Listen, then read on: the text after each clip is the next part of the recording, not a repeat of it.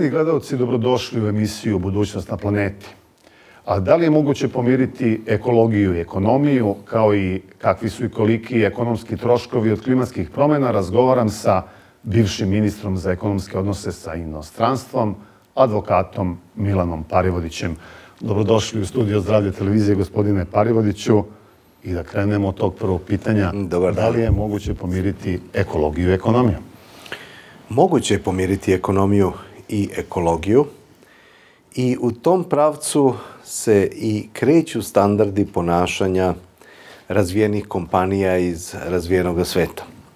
Dakle, kompanije, ja recimo znam dosta o rudarskom sektoru, međunarodne rudarske kompanije e, ne samo da prate standarde ekološke koje im nameću zakonodavstva e, zemalja u kojima rade, nego oni čak slede jedan viši standard ekološke odgovornosti i takozvane održivosti, onoga što oni nazivaju održivost.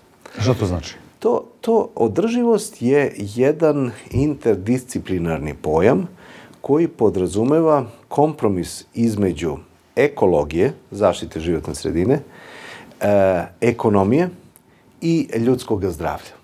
To je, to, je, to je i socijalne prihvatljivosti. I socijalne prihvatljivosti. Dakle, to su ta tri stuba e, ideje održivosti i svi projekti koji se rade na dugi rok, kao što su energetski projekti, rudarski projekti, generalno projekti koji žive dugo i koji e, se isplaćuju finansijski u dugačkim vremenskim periodima. To oni, su više decenijski poslovi. Tako je, više decenijski, konkretno veliki rudarski projekti traje po 50, 60, neki 100 godina, kao naš RTB Bor i tako dalje.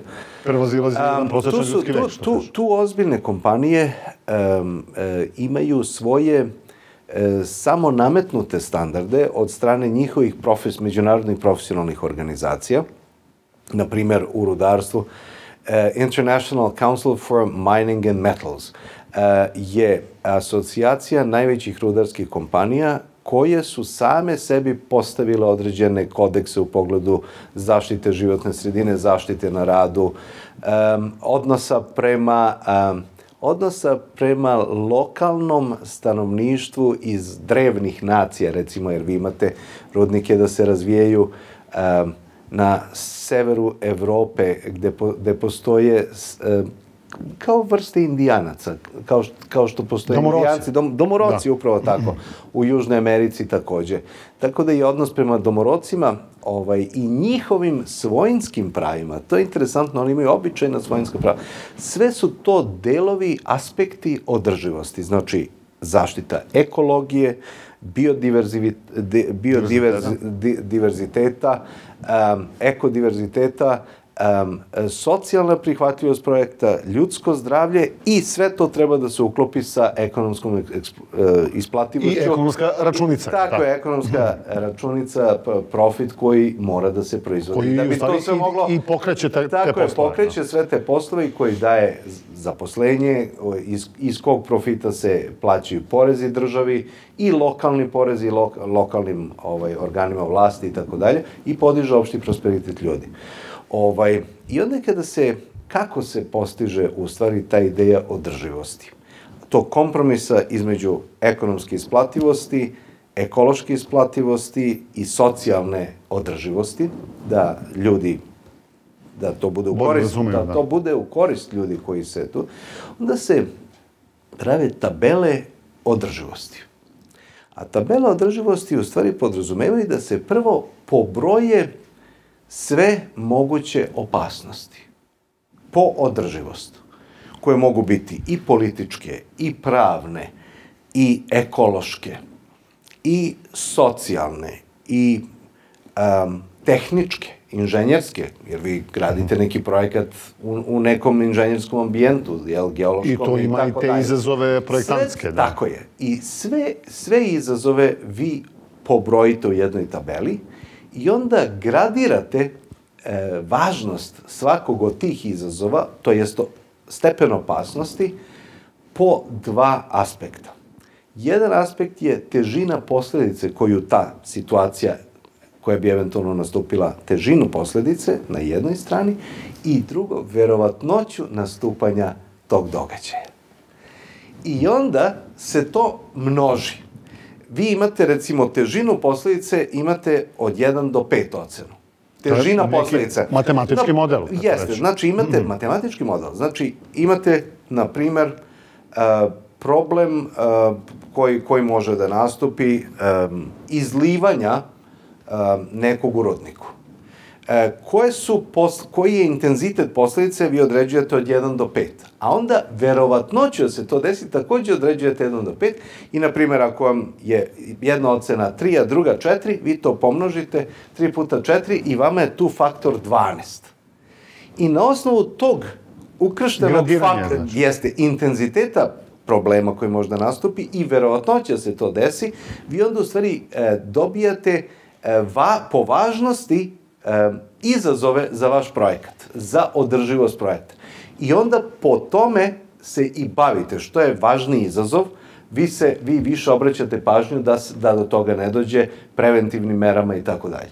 I tako se prave te tabele održivosti e, na osnovu kojih se u stvari pošto je održivost jedan e, kompleksan, kao što sam rekao, inter, interdisciplinarni tronožac pojam, a, tu se u stvari nalazi kompromis između e, ekonomskog prosperiteta, jer nije to samo profit, to je pojednostavljeno rečeno, nije to pitanje profita, nego je to pitanje prosperiteta na jednoj strani i hoćemo li mi nešto da radimo ili ćemo da sedimo ispred samoposluge i da pijemo pivo.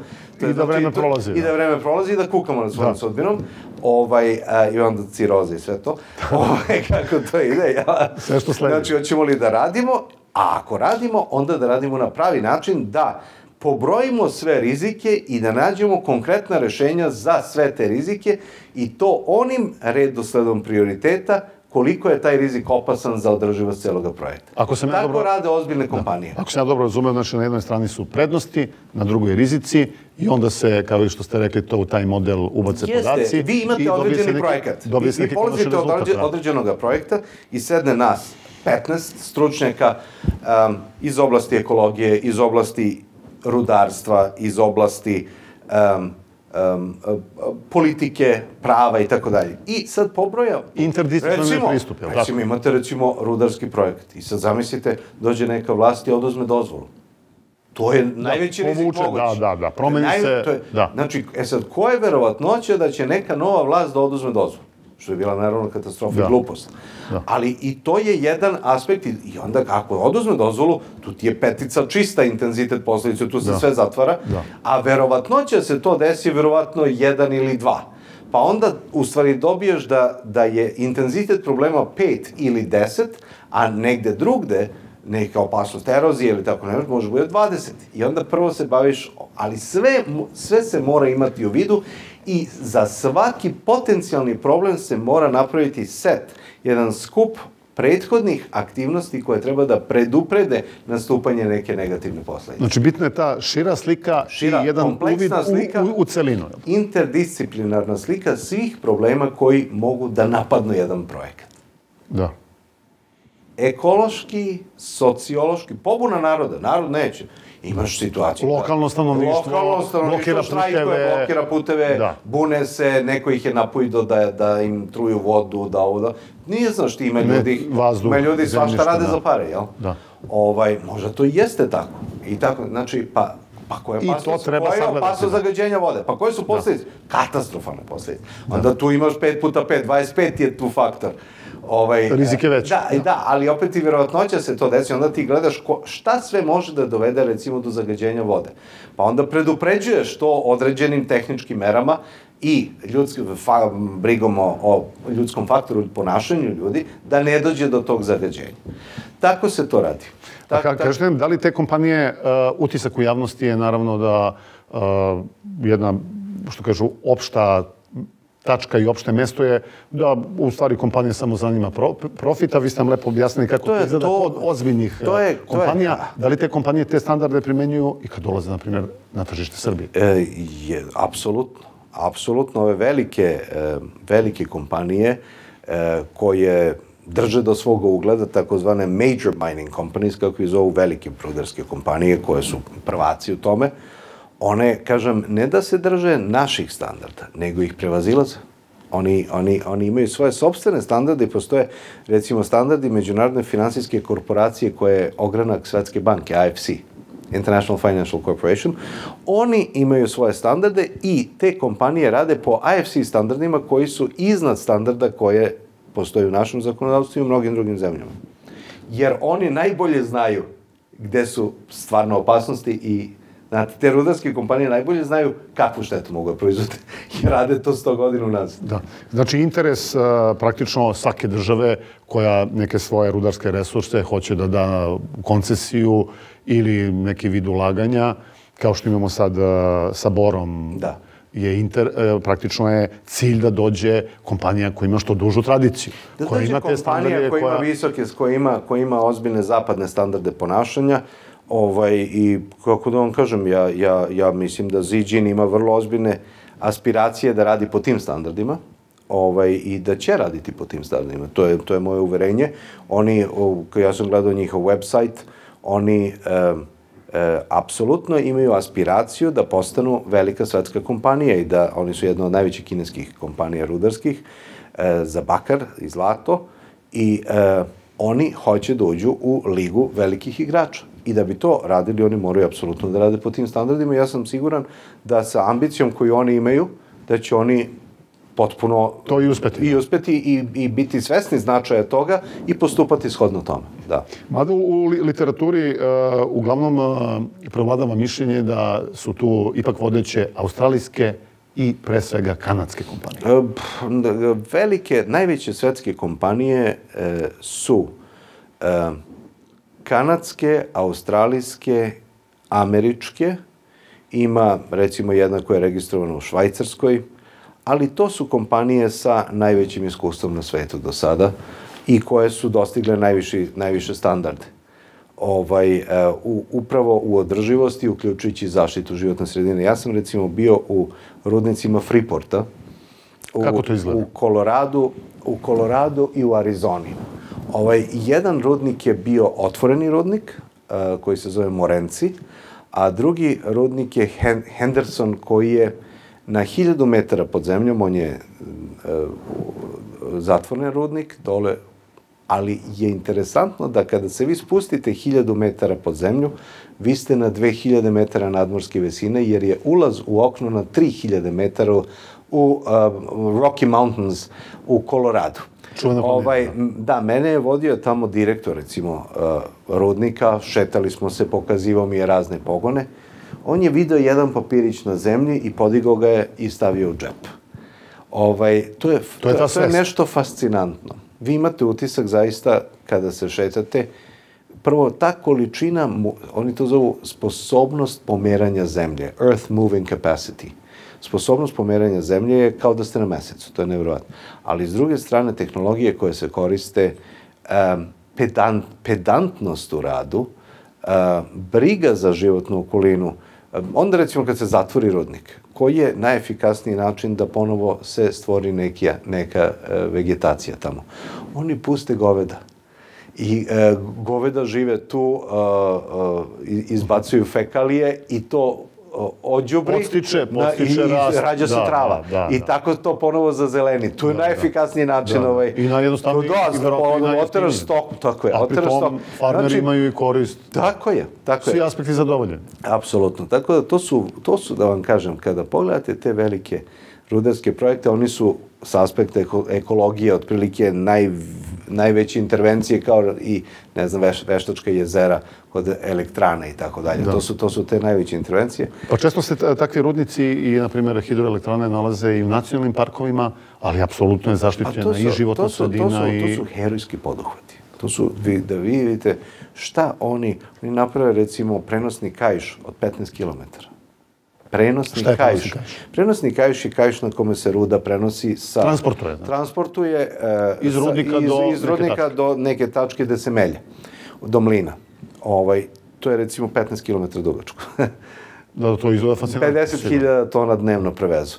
Znači, to su, to su, to su to- prosto obim tih operacija je neshvatljiv čoveku i to su zaista herojska dela vrlo pametnih, vrlo praktičnih ljudi uh, koji, koji ogroman doprinos daju civilizaciji jer svaki mobilni telefon ima u sebi 5, 7, 8 metala.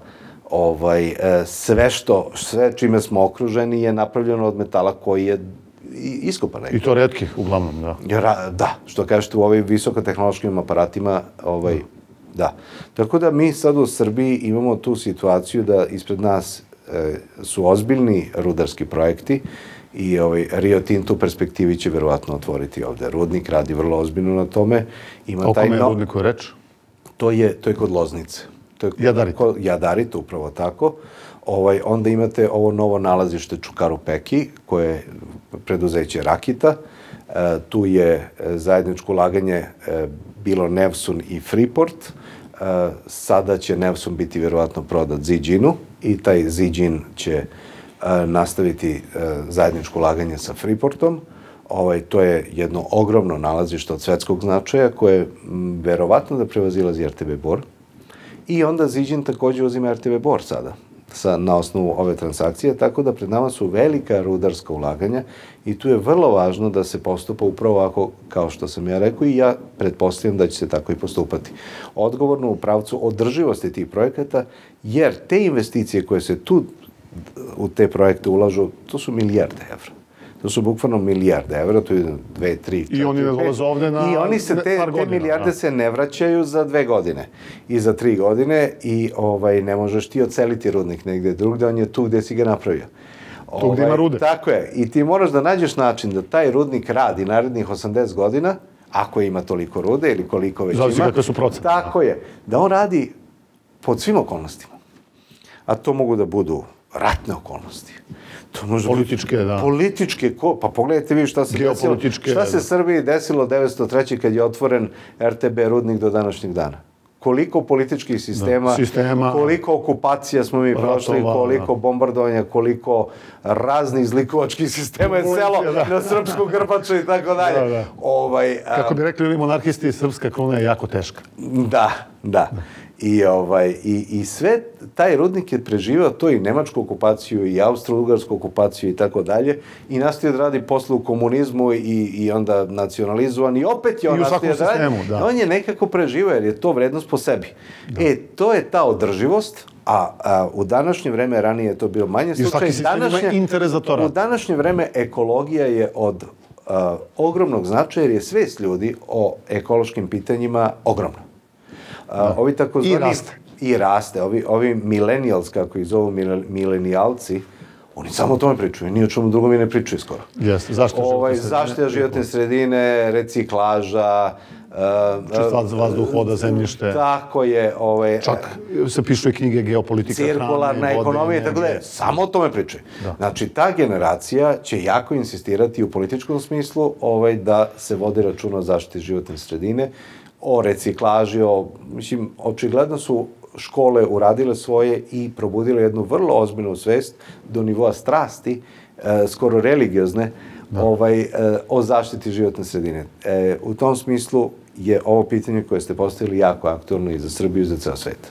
Da li možemo onda da kažemo da je interes uh, Srbije, naroda koji ovde žive, svih, kada govorimo o rudarskoj eksploataciji, industriji, da dođu što veće kompanije da bi se mi oslobodili i starih tehnologija i prljavih u kontekstu upravo ekologije i zaštite životne sredine o kojoj ste pričali. Apsolutno. Ovaj, situacija je takva da država sigurno nema pare da ulaže u rudarstvo. Prema tome, zadržavati rudnike u državnoj svojini nije perspektivno. Jer oni će po, po, po definiciji morati biti nedovoljno kapitalizirani jer nema ko da ulaže. Prema tome država može da ulazi za postojeće rudnike u neke zajedničke ulaganja kao što je slučaj sa RTB Borom, kad se radi o novim rudnicima koje su otkrile e, neke privatne kompanije, onda te privatne kompanije e, će među sobom se organizovati i razviti rudnike. Princip kako to funkcioniše otprilike ide tako da obično se pojave manje kompanije koje se bave geološkim istraživanjima i koje rade na pronalasku nekog ležišta. A onda kada ga pronađu, one to preprodaju velikoj kompaniji koja ima pare da od toga napravi rudnik i ume da napravi rudnik. Ovi prvi ne znaju da prave rudnike, a ovi drugi ne vole da troše pare... Da investiraju. Da investiraju u istraživanje, jer je to kocka, to je kao lutrija. Jasno. Ne znaš hoće li biti ili ne. To samo ko je spreman na, da preuzme na, rizik. Da. Kažu, u prosjeku na 500, na 500 istražnih polja se dogodi jedan rudnik. Tako da je vrlo mala verovatnoća. Da, da, da. I onda...